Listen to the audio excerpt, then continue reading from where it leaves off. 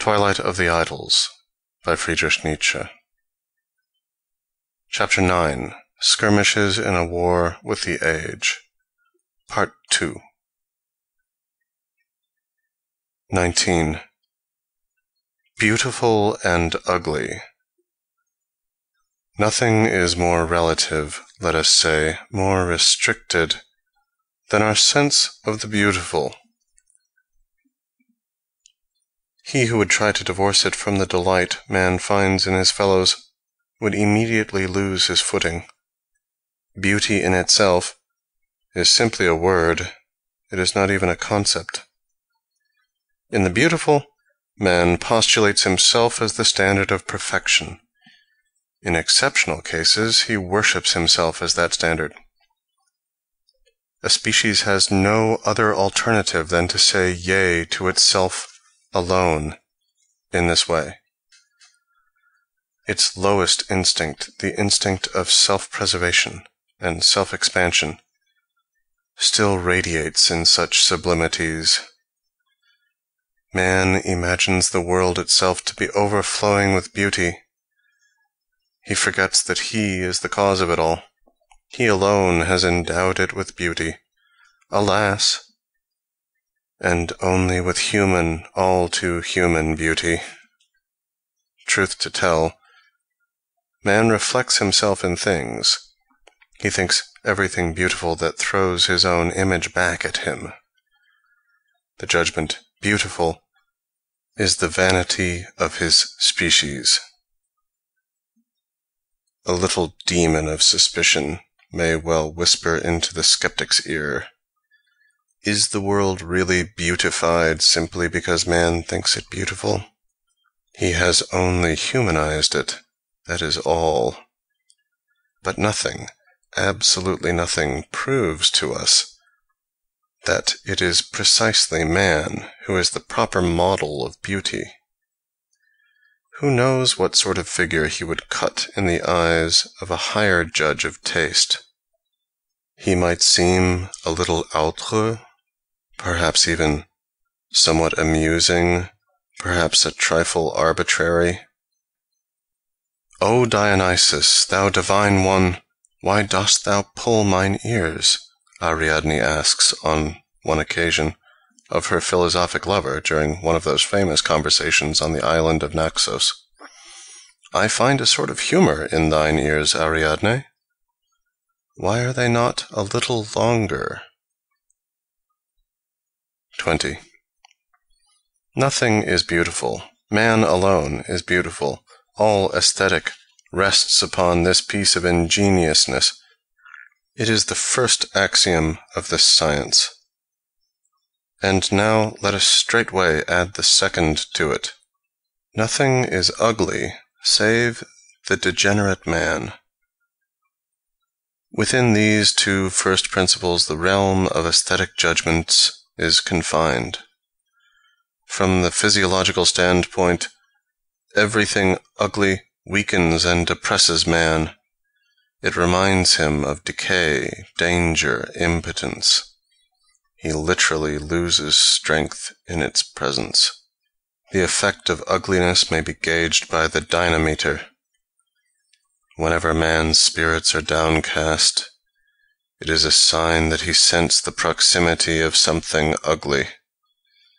His feeling of power, his will to power, his courage and his pride, these things collapse at the sight of what is ugly, and rise at the sight of what is beautiful. In both cases, an inference is drawn, the premises to which are stored with extraordinary abundance in the instincts. Ugliness is understood to signify a hint and a symptom of degeneration. That which reminds us, however remotely, of degeneracy impels us to the judgment ugly. Every sign of exhaustion, of gravity, of age, of fatigue, every kind of constraint, such as cramp or paralysis, and above all the smells, colors, and forms associated with decomposition and putrefaction, however much they may have been attenuated into symbols, all these things provoke the same reaction, which is the judgment ugly. A certain hatred expresses itself here. What is it that man hates? Without a doubt, it is the decline of his type. In this regard, his hatred springs from the deepest instincts of the race. There is horror, caution, profundity, and far-reaching vision in this hatred. It is the most profound hatred that exists. On its account alone, art is profound. 21. Schopenhauer. Schopenhauer, the last German who is to be reckoned with, who is a European event like Goethe, Hegel, or Heinrich Heine, and who is not merely local, national, is, for a psychologist, a case of the first rank. I mean, as a malicious though masterly attempt to enlist, on the side of a general nihilistic depreciation of life, the very forces which are opposed to such a movement. That is to say, the great self-affirming powers of the will to live, the exuberant forms of life itself, he interpreted art, heroism, genius, beauty, great sympathy, knowledge, the will to truth, and tragedy, one after the other as the results of the denial or of the need of the denial of the will.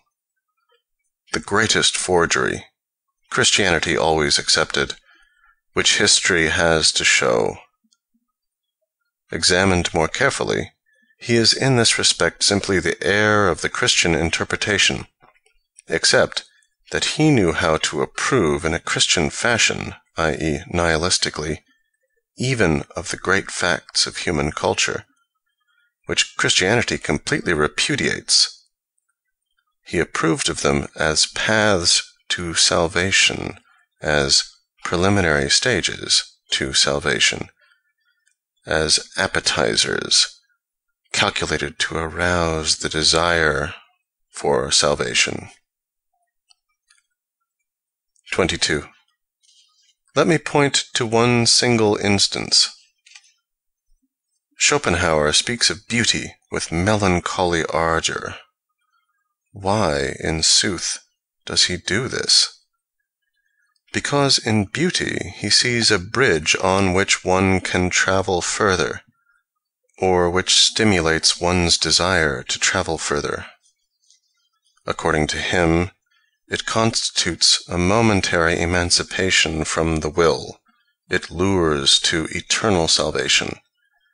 He values it, more particularly, as a deliverance from the quote, burning core of the will, unquote, which is sexuality. In beauty, he recognizes the negation of the procreative instinct. Singular saint! Someone contradicts thee, I fear it is nature. Why is there beauty of tone, color, aroma, and of rhythmic movement in nature at all?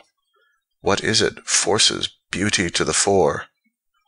Fortunately, too, a certain philosopher contradicts him no less an authority than the divine Plato himself thus does Schopenhauer call him upholds another proposition, that all beauty lures to procreation, that this, precisely, is the chief characteristic of its effect. From the lowest sensuality to the highest spirituality. 23. Plato goes further. With an innocence for which a man must be Greek and not Christian, he says that there would be no such thing as Platonic philosophy if there were not such beautiful boys in Athens. It was the sight of them alone that set the soul of the philosopher reeling with erotic passion, and allowed it no rest until it had planted the seeds of all lofty things in a soil so beautiful. He was also a singular saint. One scarcely believes one's ears, even supposing one believes Plato. at least one realizes that philosophy was pursued differently in Athens, above all publicly. Nothing is less Greek than the cobweb spinning with concepts by an anchorite, amor intellectualis Dei after the fashion of Spinoza. Philosophy, according to Plato's style, might be defined rather as an erotic competition, as a continuation and a spiritualization of the old agonal gymnastics and the conditions on which they depend. What was the ultimate outcome of this philosophic eroticism of Plato's? A new art form of the Greek agon, dialectics. In opposition to Schopenhauer and to the honor of Plato, I would remind you that all the higher culture and literature of classical France, as well, grew up on the soil of sexual interests in all its manifestations you may look for gallantry, the senses, sexual competition, and woman, and you will not look in vain. 24. L'art pour l'art. The struggle against a purpose in art is always a struggle against the moral tendency in art, against its subordination to morality. L'art pour l'art means let morality go to the devil. But even this hostility betrays the preponderating power of the moral prejudice. If art is deprived of the purpose of preaching morality and of improving mankind, it does not by any means follow that art is absolutely pointless, purposeless, senseless, in short, l'art pour l'art, a snake which bites its own tail. No purpose at all is better than a moral purpose, thus does pure passion speak. A psychologist, on the other hand, puts the question, What does all art do? Does it not praise? Does it not glorify? Does it not select? Does it not bring things into prominence? In all this, it strengthens or weakens certain valuations, is this only a secondary matter, an accident, something in which the artist's instinct has no share? Or is it not rather the very prerequisite which enables the artist to accomplish something? Is his most fundamental instinct concerned with art? Is it not rather concerned with the purpose of art, with life, with a certain desirable kind of life? Art is the great stimulus to life. How can it be regarded as purposeless, as pointless, as l'art pour l'art? There still remains one question to be answered. Art also reveals much that is ugly, hard, and questionable in life.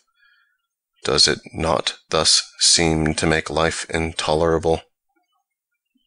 And, as a matter of fact, there have been philosophers who have ascribed this function to art. According to Schopenhauer's doctrine, the general object of art was to free one from the will, and what he honored as the great utility of tragedy was that it made people more resigned. But this, as I've already shown, is a pessimistic standpoint. It is the evil eye. The artist himself must be appealed to what is it that the soul of the tragic artist communicates to others? Is it not precisely his fearless attitude towards that which is terrible and questionable? This attitude is in itself a highly desirable one. He who has once experienced it honors it above everything else. He communicates it. He must communicate provided he is an artist and a genius in the art of communication, a courageous and free spirit in the presence of a mighty foe, in the presence of a sublime misfortune, and face to face with a problem that inspires horror. This is the triumphant attitude which the tragic artist selects and which he glorifies. The martial elements in our soul celebrate their Saturnalia in tragedy. He who is used to suffering, he who looks out for suffering, The heroic man extols his existence by means of tragedy. To him alone does the tragic artist offer this cup of sweetest cruelty. 25. To associate in an amiable fashion with anybody, to keep the house of one's heart open to all, is certainly liberal, but it is nothing else. One can recognize the hearts that are capable of noble hospitality by their wealth of screened windows and closed shutters. They keep their best rooms empty. Whatever for? Because they are expecting guests who are somebodies. 26. We no longer value ourselves sufficiently highly when we communicate our soul's content our real experiences are not at all garrulous. They could not communicate themselves even if they wished to. They are at a loss to find words for such confidences. Those things for which we find words are things we have already overcome. In all speech there lies an element of contempt. Speech, it would seem, was only invented for average, mediocre, and communicable things. Every spoken word proclaims the speaker vulgarized. Extract from a moral code for deaf and dumb people and other philosophers. 27. Quote, this picture is perfectly beautiful. Unquote. Translator's note. Quotation from the libretto of Mozart's Magic Flute, Act 1, Scene 3. End translator's note. The dissatisfied and exasperated literary woman with a desert in her heart and in her belly, listening with agonized curiosity every instant to the imperative which whispers to her from the very depths of her being, Aut liberi, aut libri. The literary woman, sufficiently educated to understand the voice of nature, even when nature speaks Latin, and moreover enough of a peacock and a goose to speak even French with herself in secret. Je me verrai, je me lirai, je m'extasierai, et je dirai, possible que j'aie eu tant d'esprit 28. The objective ones speak. Nothing comes more easily to us than to be wise, patient, superior. We are soaked in the oil of indulgence and of sympathy. We are absurdly just. We forgive everything. Precisely on that account, we should be severe with ourselves. For that very reason, we ought from time to time to go in for a little emotion, a little emotional vice. It may seem bitter to us, and between ourselves we may even laugh at the figure which it makes us cut. But what does it matter? We have no other kind of self-control left. This is our asceticism, our manner of performing penance to become personal, the virtues of the impersonal and objective one. 29. Extract from a doctor's examination paper. What is the task of all higher schooling? To make man into a machine. What are the means employed? He must learn how to be bored, how is this achieved? By means of the concept duty. What example of duty has he before his eyes? The philologist. It is he who teaches people how to swat. Who is the perfect man? The government official. Which philosophy furnishes the highest formula for the government official? Kant's philosophy the government official as thing in itself may judge over the government official as appearance. 30. The right to stupidity.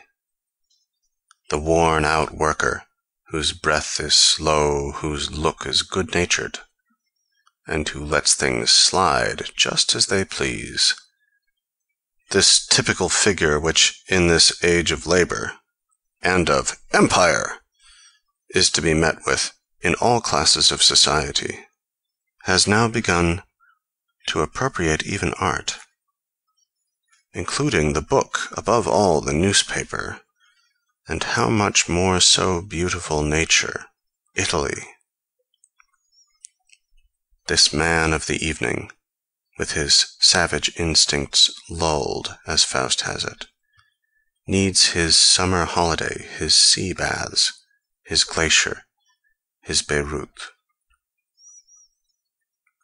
In such ages, art has the right to be purely foolish, as a sort of vacation for spirit, wit, and sentiment. Wagner understood this. Pure foolishness is a pick-me-up. 31. Yet another problem of diet. The means with which Julius Caesar preserved himself against sickness and headaches Heavy marches, the simplest mode of living, uninterrupted sojourns in the open air, continual hardships.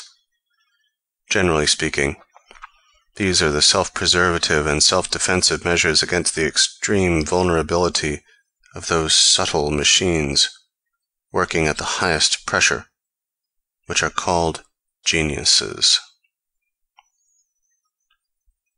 32. The immoralist speaks.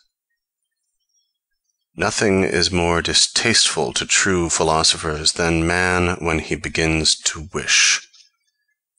If they see man only at his deeds, if they see this bravest, craftiest, and most enduring of animals even inextricably entangled in disaster, how admirable he then appears to them! They even encourage him. But true philosophers despise the man who wishes, as also the desirable man, and all the desiderata and ideals of man in general. If a philosopher could be a nihilist, he would be one, for he finds only nonentity behind all human ideals, or not even nonentity, but vileness, absurdity, sickness, cowardice, fatigue, and all sorts of dregs from out the quaffed goblets of his life. How is it that man, who as a reality is so estimable, ceases from deserving respect the moment he begins to desire? Must he pay for being so perfect as a reality? Must he make up for his deeds? for the tension of spirit and will which underlies all his deeds, by an eclipse of his power in matters of the imagination and in absurdity. Hitherto, the history of his desires has been the partie honteuse of mankind. One should take care not to read too deeply in this history. That which justifies man is his reality, it will justify him to all eternity. How much more valuable is a real man than any other man who is merely the phantom of desires, of dreams, of stinks, and of lies, than any kind of ideal man. And the ideal man alone is what the philosopher cannot abide. 33. The natural value of egoism. Selfishness has as much value as the physiological value of him who practices it. Its worth may be great, or it may be worthless and contemptible. Every individual may be classified according to whether he represents the ascending or the descending line of life. When this is decided, a canon is obtained by means of which the value of his selfishness may be determined. If he represent the ascending line of life, his value is of course extraordinary, and for the sake of the collective life which in him makes one step forward, the concern about his maintenance, about procuring his optimum of conditions, may even be extreme.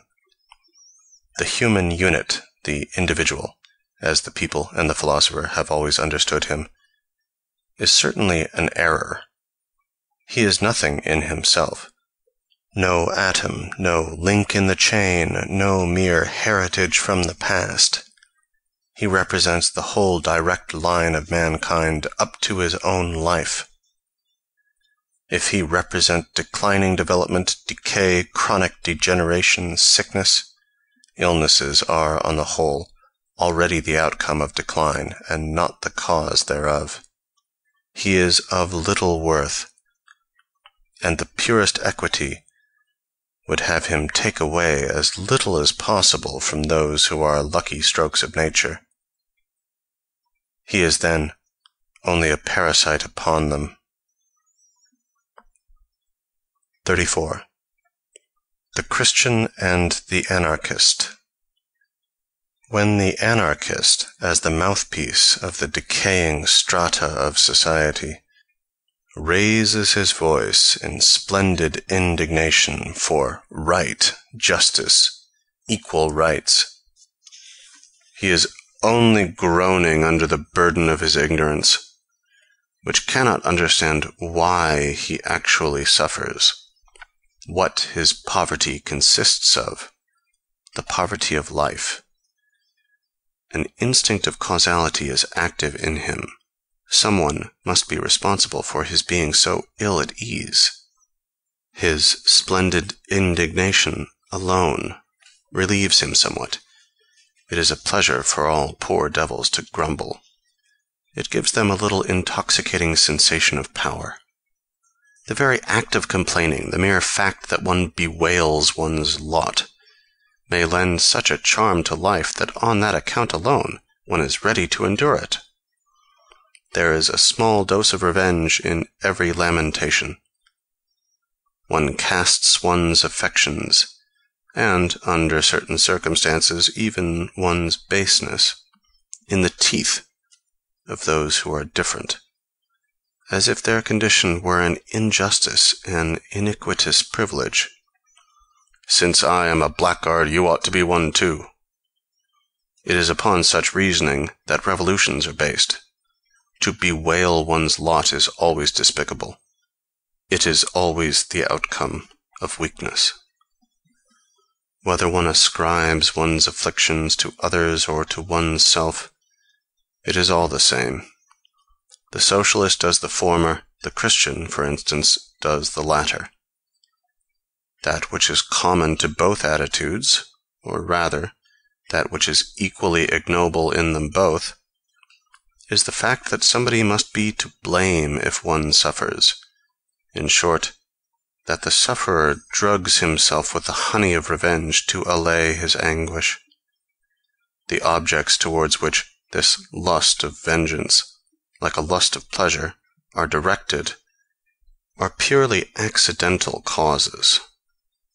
In all directions the sufferer finds reasons for cooling his petty passion for revenge. If he is a Christian, I repeat, he finds these reasons in himself. The Christian and the anarchist both are decadents. But even when the Christian condemns, slanders, and sullies the world, he is actuated by precisely the same instinct as that which leads the socialistic workman to curse, calumniate, and cast dirt at society. The last judgment itself is still the sweetest solace to revenge. Revolution, as the socialistic workman expects it, only thought of as a little more remote. The notion of a beyond as well why a beyond, if it be not a means of splashing mud over a here, over this world? 35. A criticism of the morality of decadence. An altruistic morality, a morality under which selfishness withers, is in all circumstances a bad sign. This is true of individuals, and above all of nations. The best are lacking when selfishness begins to be lacking instinctively to select that which is harmful to one, to be lured by disinterested motives. These things almost provide the formula for decadence. Not to have one's own interests at heart. This is simply a moral fig leaf concealing a very different fact, a physiological one, to wit, I no longer know how to find what is to my interest. Disintegration of the instincts. All is up with man when he becomes altruistic. Instead of saying ingeniously, I am no longer any good, the lie of morality in the decadent's mouth says, Nothing is any good, life is no good. A judgment of this kind ultimately becomes a great danger, for it is infectious, and it soon flourishes on the polluted soil of society with tropical luxuriance, now as a religion, Christianity, anon as a philosophy, Schopenhauerism. In certain circumstances, the mere effluvia of such a venomous vegetation, springing as it does out of the very heart of putrefaction, can poison life for thousands and thousands of years. End Part 2, Chapter 9. This recording is in the public domain.